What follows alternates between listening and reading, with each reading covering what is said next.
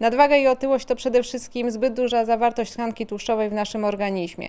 Może on się odkładać w różnych narządach, może się odkładać w różnych miejscach, natomiast ta najbardziej niebezpieczna jest tak zwana otyłość brzuszna. Tłuszcz okala nie tylko nasze narządy wewnętrzne, ale również ma wpływ na gospodarkę hormonalną. Przede wszystkim zwiększone wydzielanie żeńskich hormonów płciowych, chociażby takich jak estrogen, powoduje zwiększone predyspozycje do nowotworów piersi lub raka szyjki macicy.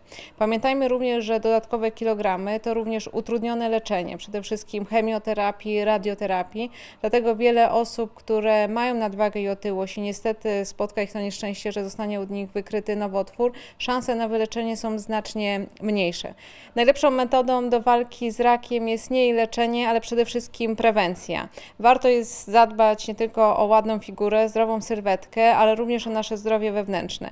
Walka z nadwagą i otyłością nie powinna być tymczasowa, tylko właśnie wyznaczona w terminie do jakiejś ważnej daty naszego życia. Powinien to być styl życia. Powinniśmy zaprzyjaźnić się chociażby z piramidą zdrowego odżywiania, zaprosić na nasz stół produkty pełnoziarniste, warzywa, owoce.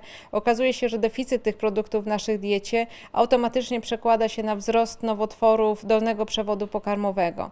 Dodatkowo warto jest pamiętać o tym, żeby zaprosić do naszego jadłospisu tłuste ryby, chude mięsa, produkty nabiałowe, a takie produkty wysoko przetworzone, dania fast foodowe, słodycze, chociaż mogą być częścią codziennej zbilansowanej diety, powinny być spożywane sporadycznie i naprawdę w niewielkich ilościach.